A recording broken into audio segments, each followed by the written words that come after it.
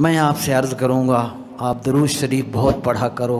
मेरे पास अरबी मतन में रसूलुल्लाह का फरमान है कि मेरा एक उम्मती पुल से रात से गुज़र रहा होगा तो वो ऐसे होगा, पुल से रात से ऐसे होगा या तो अल्लाह को फिर उस पुल से रात को चिमट जाएगा, नीचे दो फिर खड़ा होगा, फिर फिर हजूर ने फरमाया, जब मेरा उम्मती इस हाल में डावाडोल हुआ, फिर क्या होगा? फरमाया जा अत हो सलात हो अलैया।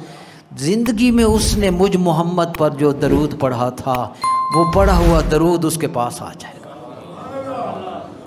उसके आमाल में नेकियाँ तो और भी बड़ी थीं, बड़ी नेकियाँ थीं। लेकिन फरमाया, दरूद शरीफ आ जाएगा।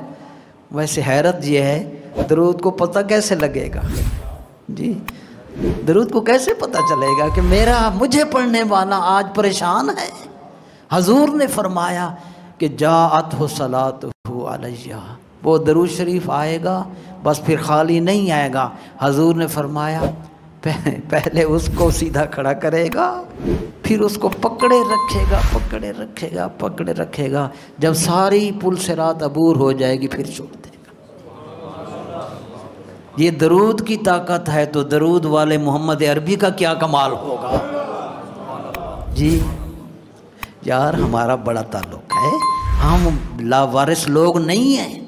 इसलिए आला हज़रत ने फरमाया, फेर दीजिए पंजाए दो लहीन इस मरदूद शैतान का पंजा मरोड़ के झटक दो। मुस्तफ़ा के बल पे कुफत कीजिए।